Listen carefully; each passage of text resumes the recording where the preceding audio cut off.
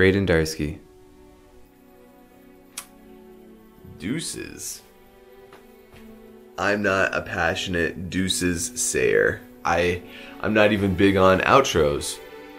But a channel that I'm very fond of, uh, that Catholic couple, right now in their life, they are super busy and it's difficult to juggle life in general. And they're like, we're gonna take a year off of YouTube because life is just so hectic right now. And I was like, no! And so, Daniel, the redded bearded fella, he's like, but I know I'm also gonna do my YouTube channel. It's not gonna be, you know, on a regular thing, but I'll I'll get to it when I get to it, and I get that because life is busy.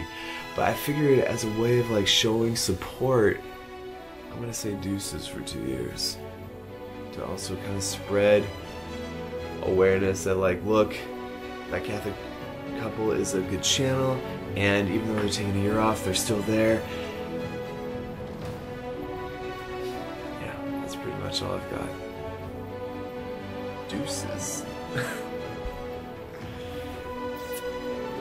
oh man, I'm so tired. Did I mention that I'm only gonna be doing this for two years? Okay. So today is January 20th, 2019. So, January 20th in 2021.